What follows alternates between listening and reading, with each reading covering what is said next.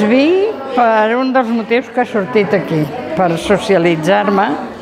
Eh, Jo sóc vídua, sí que tinc fills, però estan fora, treballen, tenen el seu ritme i les hores a casa són moltes. La meva consogra la setmana passada no va venir, li vaig dir a la meva filla, digue-li a la Paquita, i avui ha vingut amb una seva amiga, vull dir que eh, ho vas dient, no? O no, que fan una xerrada sobre la medicació i tal.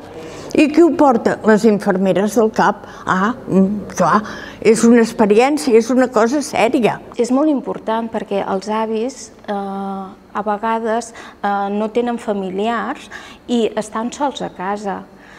Nosaltres vam pensar com poder eh, reunir aquesta gent i intentar, avui no ha, ha sigut possible, però els altres dies a vegades es queden xerrant i expliquen cosetes entre uns i els altres.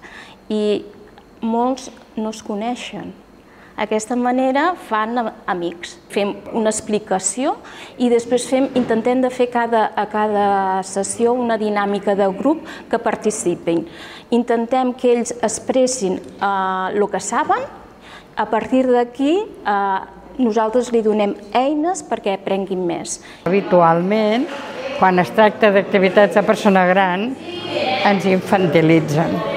I aquí no.